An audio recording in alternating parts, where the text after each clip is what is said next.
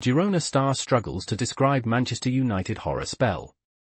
Girona feel they took advantage of Manchester United's desire to cash in on Donny van de Beek by signing him on the cheap.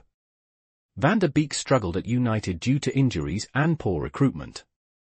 He hopes to resurrect his career at Girona. Van de Beek described joining Girona as a vastly different experience from playing for United or Ajax. He struggled to explain his difficulties at United, acknowledging the challenges faced by the players. Please subscribe to my channel.